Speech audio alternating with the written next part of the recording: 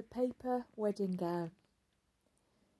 That person things relationships are growing more and more temporary may be illustrated by examining the culture surrounding the little girl who trades in her doll. This child soon learns that Barbie dolls are by no means the only physical objects that pass into and out of her young life rapidly. Nappies, bibs, paper napkins, Kleenex, towels, non returnable pop bottles, all are used up quickly in her home and ruthlessly eliminated. Corn muffins come in baking tins that are thrown away after one use. Spinach is encased in plastic sacks that can be dropped into a pan of boiling water for heating and then thrown away. TV dinners are cooked and often ser- served on throwaway trays. Her home is a large processing machine through which objects flow entering and leaving at a faster and faster rate of speed. From birth on, she is inextricably linked, embedded in a throwaway culture.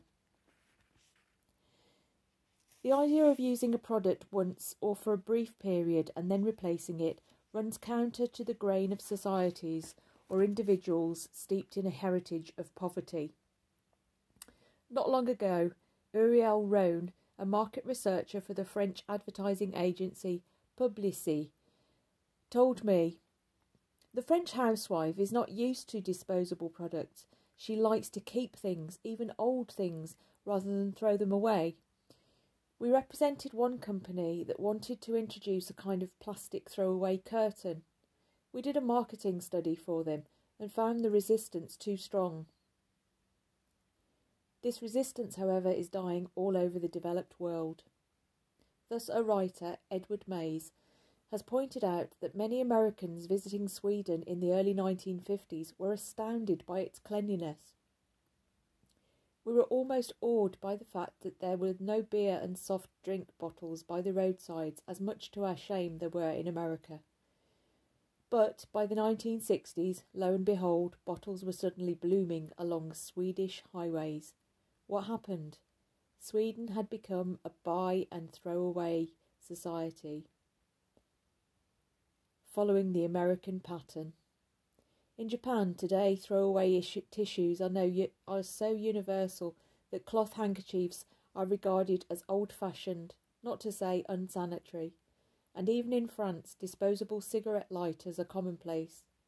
From cardboard milk containers to the rockets that power space vehicles, products created for short term or one time use are becoming more numerous and crucial to our way of life. The recent introduction of paper and quasi paper clothing carried the trend towards disposability a step further. Fashionable boutiques and working class clothing stores have sprouted whole departments devoted to gaily coloured and imaginatively designed paper apparel. Fashion magazines display breathtakingly sumptuous gowns, coats, pyjamas, even wedding dresses made of paper. The bride pictured in one of these wears a long white train of lace like paper that the caption writer notes will make great kitchen curtains after the ceremony. Paper clothes are particularly suitable for children, writes one fashion expert.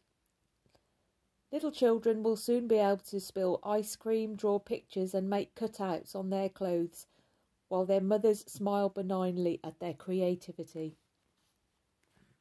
And for adults who want to express, express their own creativity, there is even a paint yourself dress, complete with brushes, price $2. Price, of course, is a critical factor behind the paper explosion.